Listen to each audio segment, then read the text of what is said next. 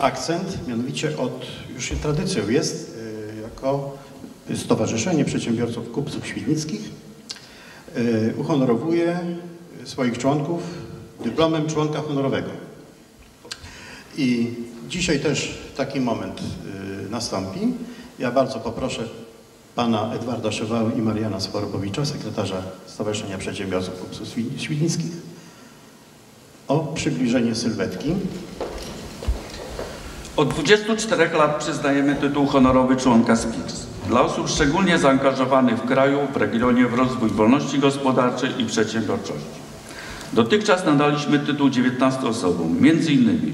Janowi Lityńskiemu, pierwszemu członkowi honorowemu, profesorowi Leszkowi Balcerowiczowi, marszałkowi Markowi Borowskiemu, senatorowi Stanisławowi Jurewiczowi, profesorowi Janowi Miotkowi, Władysławowi Frasuliokowi, Markowi Woronowowi, Henrykowi Gołębiewskiemu, Jerzemu Ignaszowi- Ignaszakowi. Ostatnio szefowi Urzędu Skarbowego Świdnicy, jednego z najbardziej przyjaznych dla przedsiębiorców w kraju, pani Krystynie Walkowskiej. Dzisiaj 20 laur honorowego członka SPIX odbierze Jerzy Franckiewicz, przedsiębiorca filantrop.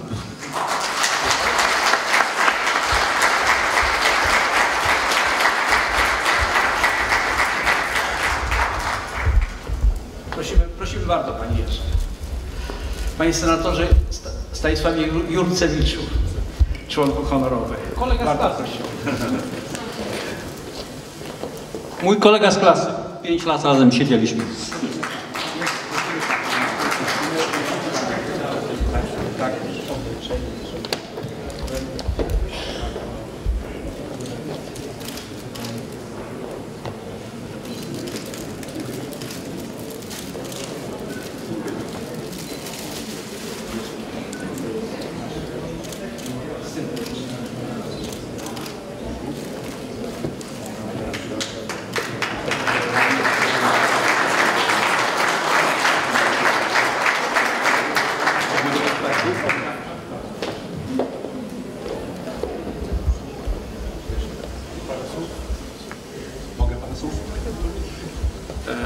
Szanowni goście, a przede wszystkim moi drodzy koledzy.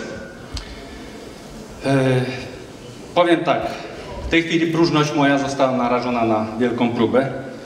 Ego rośnie tutaj tak do niewspółmiernych rozmiarów, ale proszę się nie obawiać, ja zaraz stąpię na ziemię, mam na to wspaniały sposób. Ja zaraz wrócę do domu, będę chciał powiedzieć mojej żonie o, o moich sukcesach. Żona najpierw mi pokaże, gdzie są moje kapcie, a później kilku słowach żołnierskich sprowadzi mnie do szeregu. Także proszę się nie obawiać, ja nie będę pływał. Natomiast tak już na serio chciałbym powiedzieć, że ja słyszałem już parę miesięcy temu, co moi byli koledzy chcą mi zrobić. I w tym momencie miałem pewne takie dwa uczucia. Uczucie przede wszystkim zdziwienia i uczucie rozterki.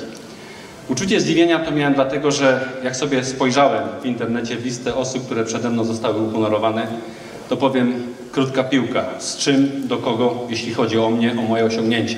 To jest oczywista oczywistość, że ja nawet nie mogę pretendować, żeby porównywać się do tych osób, które przede mną zostały uhonorowane, ale dziękuję kolegom za taką decyzję. Natomiast jeśli chodzi o uczucie rozterki, Państwo może nie wiedzą, ale koledzy oczywi- oczywiście o tym wiedzą. Ja 4 lata temu zrezygnowałem z bycia członkiem tego stowarzyszenia po 10 latach. Dlatego doskonale sobie zdawałem sprawę, jak wielu kolegów może właśnie te uczucie rozterki w sobie posiadać, gdy decydowali o tym wyróżnieniu.